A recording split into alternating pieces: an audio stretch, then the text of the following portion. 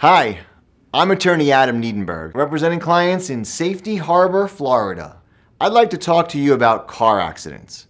Car accidents happen to be the most common type of personal injury, and as we all know, can result in serious harm or even death. Approximately 3 million people are injured in auto accidents each year, and by the time you finish watching this video, three or four new car wrecks just happened. Victims of these accidents need a lawyer they can trust.